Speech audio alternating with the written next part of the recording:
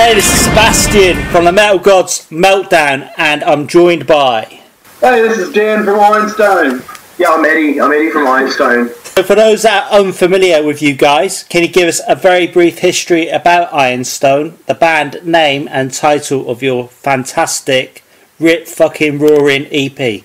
Ironstone started when I was about 11 years old, and I wanted to play music with friends, and it started as a band project where we played covers, um, and then very quickly developed into an originals band, and then went through member changes and developed. And about a year ago, Dan joined Ironstone, and that's kind of where the the renaissance period of Ironstone was born. The name of our EP is Prophecy, and we chose that because it's kind of named after self-fulfilling prophecy. Yeah. Because we really thought that um, it was really empowering sort of a message to have that if you what take the right steps towards success, that you will become your own prophecy and you will Yeah.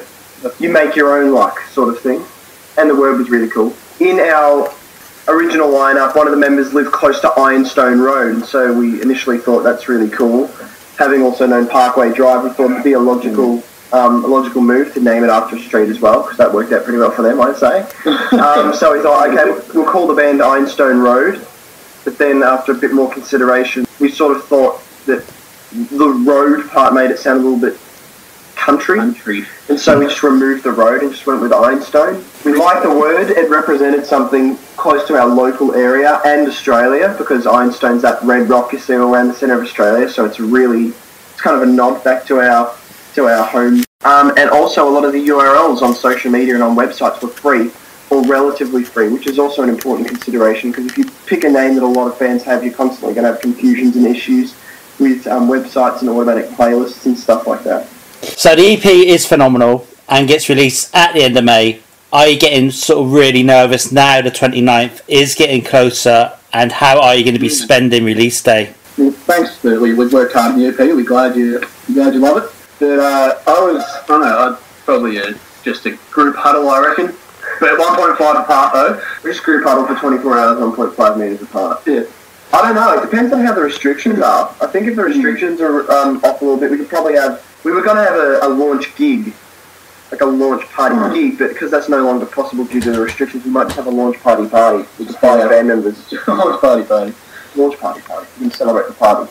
Celebration party of having up with. Party to the power of two. Are you, are you nervous for the EP release? I'm kind of. I'm, oh, I'm sort of, I wasn't last week, but now I've sort of, I think, Dawning. yeah, I think the, I think I'm getting a bit nervous. I'm nervous. I'm just kind of more apprehensive. I'm kind of thinking about how it's going to be received by other people and possibly because obviously it's going to be the first, if it goes well, potentially of many to come. And so Oh, no, to go well. It's going to be is just this It's one. just, yeah, no, This is- no, that's done, done up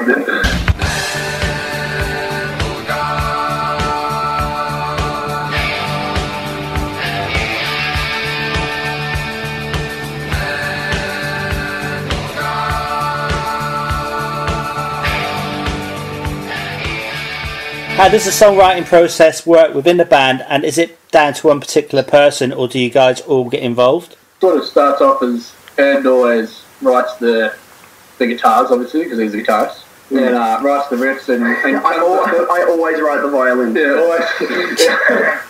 Um, so I, I start with the out riffs and a general song song structure, so that for a given song we know that it goes, you know, riff, verse, chorus, riff, whatever the structure may be, and I get it all set out and kind of thematically play with it and program synth and stuff, so it's really clear what the song feels like and what we want the song to achieve.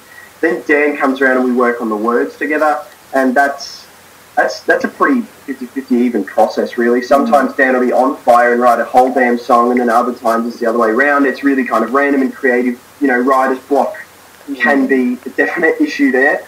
Once we've got a song strong thematically and got words to it, and it's starting to sound like it's actually got some potential, we get Jackson, the drummer, in. He's fantastic with technology. He uh, assists us in programming that and getting that to sound really good, so that we can so we can listen to a better representation of the song and have a better assessment of whether it's going to work in a, in a full production context. And normally, that stage of the writing process is awfully exciting because we finally get to hear it in a really polished sort of a state and go, holy moly, this sounds you know even better. We thought this might have been a bit crap, but now that you put everything like that, it's finally starting to show its true colours. And then after we do that, obviously it goes to the band rehearsal room where the whole band contributes and talk about potential ideas and changes to the song. And then the very last stage, you'll be trialing it live. And sometimes you play stuff live and stuff just doesn't work and you need to change it. And then other times you go, that was fantastic. Can you give us some insight into two of the tracks? I really dig Kill the Man and the opener Downpour. Okay, Kill the Man. Kill the Man was um was written before Dan joined the band. Hmm.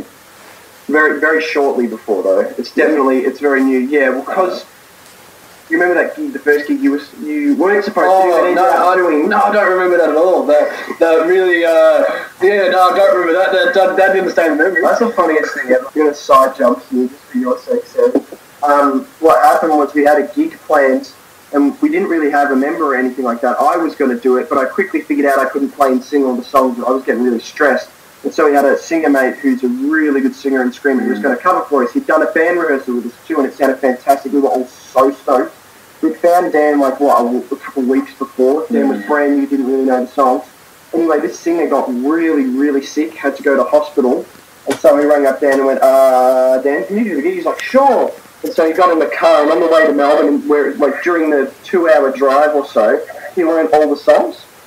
And for the most part, the show went really well, and we were really impressed with Dan. But there was one song which was "Kill the Yeah, Man," was Kill the Man. with all the verses and complicated lyrics and kind of satirical, twisty, like complicated words. I He made just- up my own He just made up I, his own words. Like, yeah. I've never, he, he sometimes he's singing shit that wasn't even fucking English. It was brilliant. We were laughing so I like to add a little bit of flair into my uh, inspiration. Yeah, a little, little, bit of, little bit of Mongolian flavor. Yeah, like, yeah, can understand yeah. And it was very funny, but at the same time, he totally did it with conviction. I don't think anyone in the crowd knows this. crowd loved it. I didn't. For Man, okay, so for the writing of Kill the Man, I definitely wanted to do something satirical.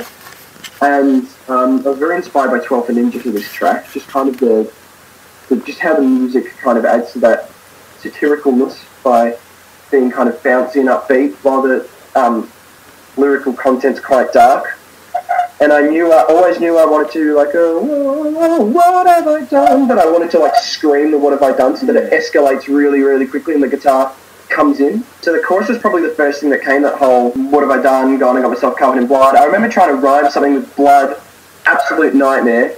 And then we finally came up with, and now reality's hitting me hard, and we're like, hard and blood's close enough, so we'll go with that.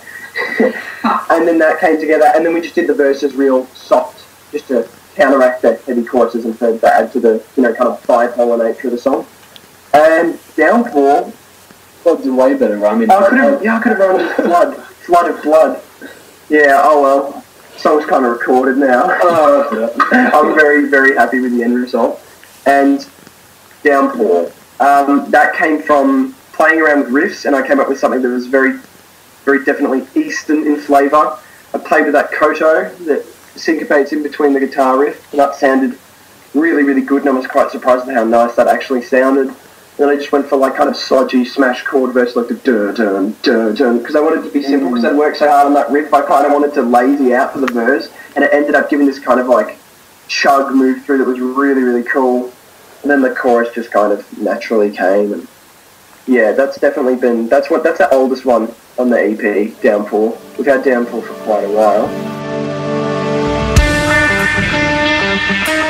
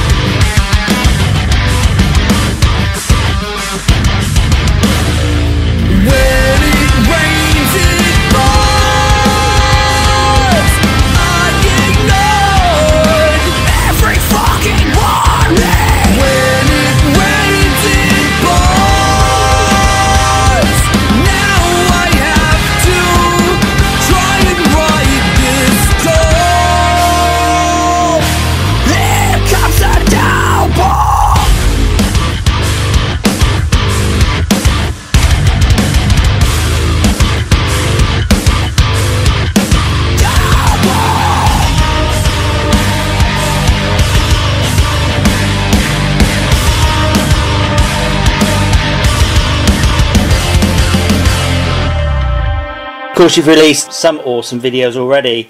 What's the feedback been like from media and your fans to those ones? And was Annie chucking a bucket of water over you in downpour? Uh, it, was, it, was, it was a couple buckets. but we, uh, with with Bound, we got quite a quite a good like level of feedback. I guess no one's really told it to our face, but you know, it's it's all been quite nice. But yeah, this this downpour is the one I'm I'm most keen for people to see at the moment. Anyway, I think priority priority was basically that was the, the first one that we did, and that was a really really nice video. Um, that was just tr- us trying to keep momentum, having lost a singer, and so I decided that I'd sing and do the song. We got really good feedback for Priority. Everyone was pleasantly surprised at the genre shift. That worked really, really well. Had Dan, had we have found Dan like two, three weeks earlier, he would have been the singer of that song. Like, it was a very, very close sort of a. it's a short time frame. Bound got kind of fairly weak initial reception, but it really kind of just was a lot more consistent than Polarity. Like it just kind of churned, kept churning and like picking up views. And now that we're about to release Prophecy, um, it's getting picked up all over again. And people are going, listen to Ironstone's new single. And I'm like, holy moly, new single, that's so funny. Um, and people are really enjoying the video and loving the, the song. Um, even though we're, to be perfectly frank, we're probably a little bit sick of it by this point because we've been listening to it for a long time, but it's kind of rebirthed our interest for, the, the clip and the song, and we've kind of really realised that it is actually a pretty sol- it is a pretty solid song. It's definitely a good song. Um, but there's a lot better ones on the EP, like Dan said, like Down Woman. I pretty much put the, all the other five above Down, so I'm really excited to see the reception for the, the rest of Prophecy. You do eventually get out on the road.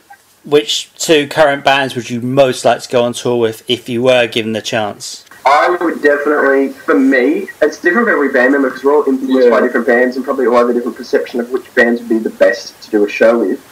But I would say Periphery and 12 Foot Ninja. Because even though, it sounds ridiculous when I say this, even though neither of them are like the biggest band in the world, they're still just such big influences to our music and so important to me personally that I would um, I would take them a thousand times over a much larger entity or band like the Metallica, for example, or something like you that. go to Periphery in the Token. Yeah, definitely, because I absolutely adore Periphery. So The world, especially the music industry, is going to take a huge hit from this virus. How hard is it going to be to stand out from your peers in an already saturated world?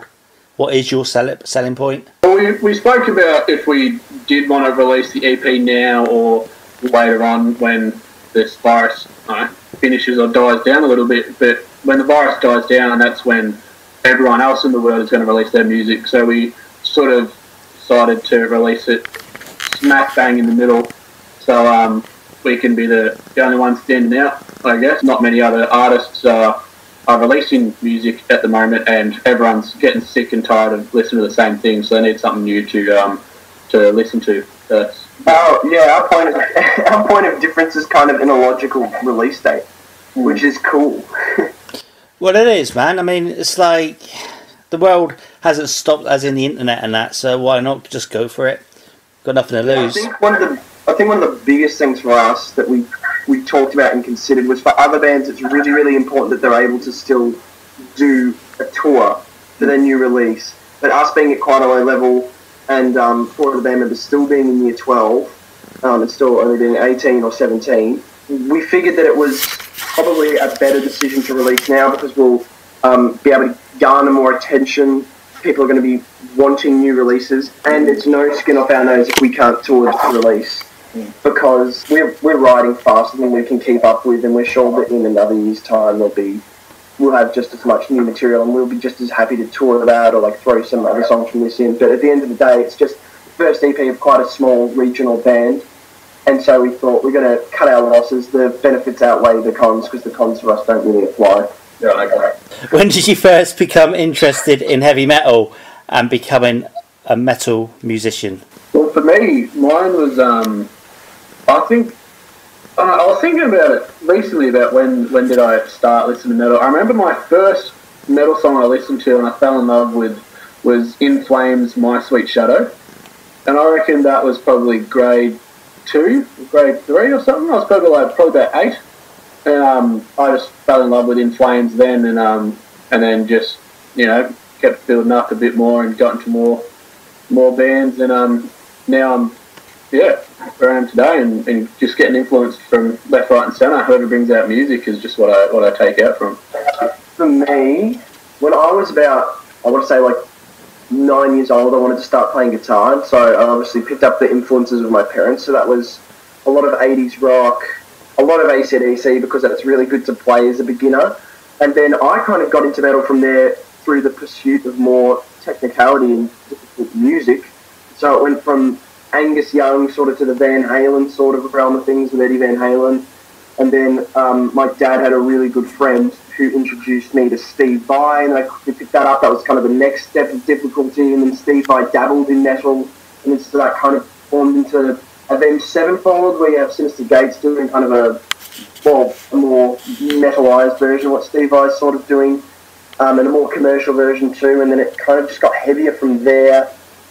And then I was really into that, and then I found 12 Foot Ninja. I was introduced to 12 Foot Ninja by the drummer, actually, Jackson. Listened to their stuff and really liked it, which coincided kind of simultaneously with Architects. And then I found that in those, the, the technicality wasn't so much in the guitar solo playing, it was really in the rhythm playing, which I really liked because it was more consistent. Because it had earlier been the case that I was kind of immature in the respect that I was always waiting for the guitar solo, and the guitar solo was a chance to prove how well I could play. And I thought, I think a, a better alternative is to serve the song and to serve the actual the the artistry by being consistently technical. And so it kind of switched to rhythm playing, and that kind of you know typical teenager guitar solo mindset just kind of left the building, and it really became kind of a percussive, progressive metal game instead. Can you remember the first time you ever performed with Ironstone and how it felt? Oh yeah, I remember. Uh, didn't feel great. It's pretty funny. Oh no, it was a good time being up on stage, but I was, yeah, I was scared. I think that's the most scared I've ever been in my life. Yeah, I don't blame you. There was a pretty decent crowd there too. I remember playing guitar and kind of looking over my left shoulder. You're going, "Fuck it, hell." Oh yeah, no, I was that shitty. Yeah, I can understand that. Um, for me, it's kind of a little bit more difficult. it depends on what you consider Ironstone said, really, because um, it's been going for a very, very long time under different members and stuff. I'm technically the only original member left, but honestly, it's been different bands. Each time a member's come in, the genre's shifted enough that I would consider it a different band, and that's been to the due mostly to the influence of um, or just how we write to make the singer sound good because you've got to your singer's your front person and they've got to sound good and so with different singers we've kind of adopted a slightly different style not to mention you know we were growing in musical taste probably nearly as fast as we were growing in bloody height so you know we were kids the, the genre changed so quickly yeah, too quick for some apparently but I'd say my first gig with Ironstone look I'll just say I was playing in pubs with Ironstone when I was 11 years old. This has been going since I was like 10, 11 years old. It was the first time I played on stage with this band lineup. But it's kind of that thing of the shovel, you know, where you replace the handle and you replace the head and you replace the, the, the start bit, and it's not the same shovel, even though you've had it for 100 years. So, yeah. That's a good analogy. Who do you feel has influenced the metal rock world more than anyone else? Well, I don't know. I'd probably say the the big four, I guess. Your your, your Metallica and your your Metallica, Anthrax, Megadeth, and uh, and Slayer. Yeah, that's it. So I guess I reckon they're they're probably uh, the because the bands that that influenced us were influenced by by them, and influenced by the others. It all sort of trickles down from them. But then they, like the big four, also influenced by Black Sabbath and Ozzy Osbourne, and Yeah, it depends what kind of of keeps going. depends what kind of tier of the, the metal pyramid you're talking about. If we're sitting at the top, you've got your Ozzy Osbourne and Black Sabbath who, in, who influenced those big Yeah. four of the modern sort of era of, um, Yeah. era of metal. Then you've got kind of post-modern where you've got other bands that are taking it in other directions. And um, I would honestly say that that's where bands like Animals as leaders and Periphery have kind of taken that to be a whole different thing. And of recent architects, I think, have been really they've really shifted kind of the centre focus of metal because it never used to be on all this um, metalcore scream, doom and gloom. That was definitely not a thing ten years ago. Um, Architects has made that really, really cool and really appealing. And all that stuff that as in, in your school you learn the guitar and you learn Yeah. your your brown your brown brown brown that's Yeah. and then you just and then just like yeah, It's- yeah, it's kind of not you even just the evolution. It's not just the evolution of the music itself, like you said, it's kind of the evolution of the individual you have to go through. Like I had to go through Angus Young and Metallica and all that in order to get to this really high level stuff. Because if I had started with that, I would have quit acoustic guitar Yeah. because it's just ridiculous. Um, Depending on your skill level and what you want to play, and at some point your skill level reaches that point where it's where what you want to play, and that's the perfect equilibrium point because you finally do what you want to do. So Australia is well, it's a continent basically. I mean, you could fit the UK in Australia probably about six times over. What would you say the the scene is like in Australia for rock and metal? Yeah, it's good. We do the best of what we have. It's um, it's it's full of really great people. A lot of really friendly fellow musos that have always been willing to help us out. Uh, definitely made some lifelong connections in our scene.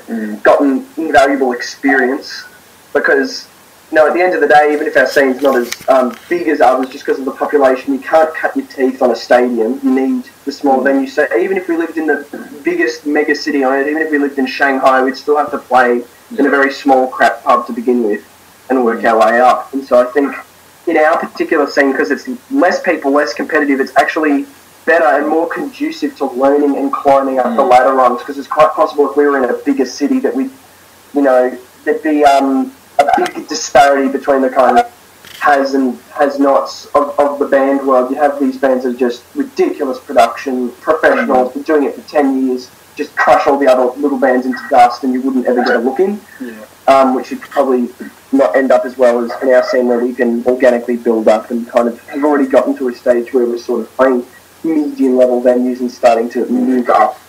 Everyone's just really friendly as well. Everyone in the, the Melbourne metal scene, the, the we've ever met and that we've heard of, is just everyone is just so friendly and they Mm, just yeah. there's no bad words about anyone, and that's just the, the type of metal music family I guess you want to be. Yeah, I, I don't even know if that's particularly indicative of the Australian community. I think the metal community in general is just really great. Um, there's been other, like there's other music communities where there's a little bit of like gossip and issues, a bit of drama and stuff. Never in the metal one though. It's always, And I was like, you'll be right. it's always above that. So at school, are you seen as rock stars? No. Any opportunity to get picked on, literally, it's ridiculous. It's not as bad now because I um I was a very punchable kid. I'll put it that way. I, I, was, I would beat 12 year old me up, holy moly. Um, no, when I was in primary school, it was pretty bad because there was the kind of the isolate the outside, outsider, make them feel like crap thing. In high school, they got less and less.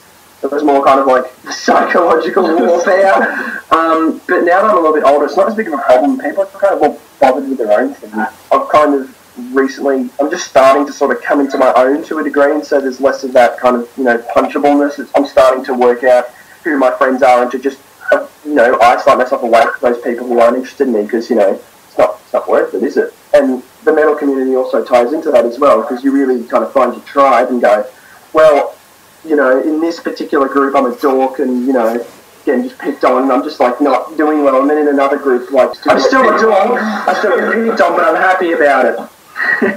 Which would you say, being so young still as well, but which would you say are your two favourite songs of all time and what they meant to you personally? It's a thing that change all the time. I can put down one as Collateral by 12 Foot Ninja. That particular song was a real turning point, and that's my favourite one of theirs. At the moment, it's about to say that our song is about to say the better unseen. I love that song. I can't get enough of that one. Yeah, well, yeah, we can just shamelessly self-plug. Yeah. Now, I'm going to actually say I really love Reptile by Periphery, and I'm going to pick that song because it's that's 17 minutes long, so it actually counts for three songs, so I figure that's my best bet. If I say Collateral by 12 Ninja and a tentative Reptile by Periphery, because the song's so damn long. Um, it covers pretty much every sort of style we've ever done, so yeah, I'll go with that. Can you tell us why we should watch and check out Ironstone? Yeah, We're just a, a young up and coming band with, um, as you as you said before, with, with a lot of skill and um, the the stuff we're we're coming out with is well, what we think is quite good. I think people should watch Ironstone and listen to our stuff because if they're looking for something heavy, melodic, very catchy, and if they're looking for the, the, the cutting edge of modern metal, they should definitely watch our stuff and listen to us. Um, also, another reason is just if you if you look at it from, from the numbers, we're all very young, so we've got a lot of time to produce more music. Um, so it's not like getting into a band that are all in their 80s. There is more to come. So if you like it, that's a positive for you. If you don't, I'm incredibly sorry. I would say listen to our stuff because we reckon we've had a pretty fresh take on the, the sort of genre. It's not very doom and gloom. There's a lot of satire and uplifting in it, and it's uh, it's a nice it's a nice shift it's quite interesting. So I'd really recommend people give it give it a really good listen, like you did. Listen through it a few times, and I think you might you might get something out of it. Find a favourite song or learn something maybe. So, can you give us four words to describe Ironstone? Heavy, melodic, innovative, and raw sex appeal. Any final words for your fans and our listeners? um, thank you all very much for following us, for helping us out, for supporting us. It really is a family at this point, and it's a small following, but we know all of our fans, and so that's a really unique and special position to be in. Um, so we thank you all for listening. We thank you all for interacting with us and helping us out along the way. We really hope you enjoy this release, and that we can finally give something back to you guys, because that's that's what we want to do. We just want to um, give back to the fans and um, impress them as much as they've impressed us over the last year, especially with all these lineup changes and all this kind of bullshit that's been going on. Thank you so much for holding on, Big Green Deck, and I promise you will not regret it.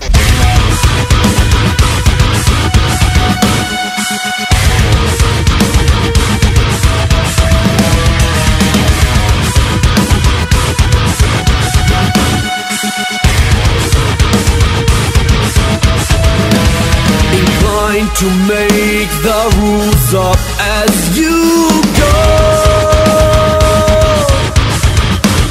But no one wants to be the last to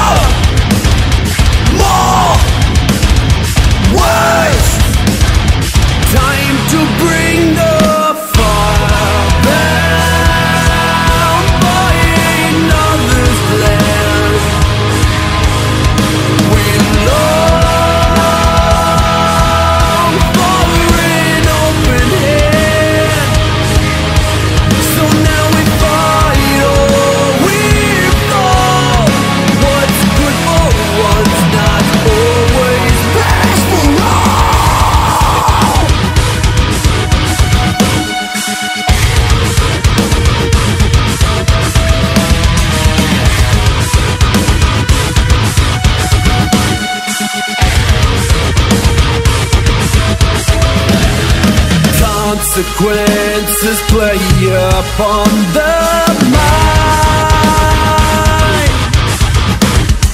as we leave.